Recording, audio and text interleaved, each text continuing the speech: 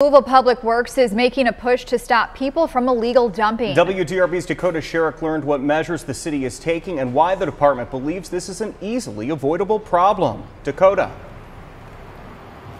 I'm standing in just one of the illegal dump sites we discovered today. And from what I've learned, a lot of the electronics and items causing an eyesore here could be disposed of legally for free.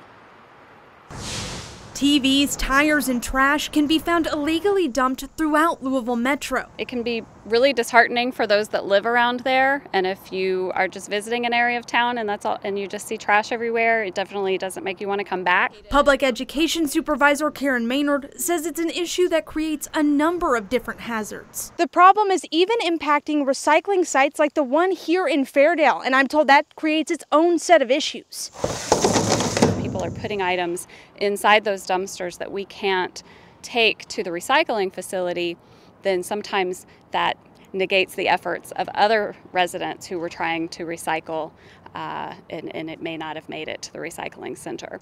The Fairdale site is one location with cameras, which Maynard says has helped them identify some of these illegal dumpers. People caught could face a citation, cleanup fee, and possibly have their car impounded, totaling roughly $1,000. Public Works has been posting some of the security footage and impound pictures to social media, trying to discourage those who would illegally dump and to encourage others to report when they see it. In some of our hot spots where we see a lot of dumping, we're really hoping that slows down.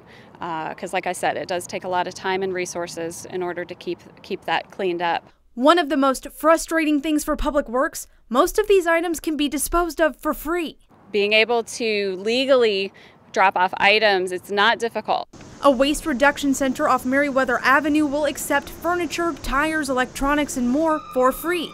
Some items, like construction waste, have a $60 disposal fee. But it is a lot less than the fees that you will end up paying if you are caught dumping them.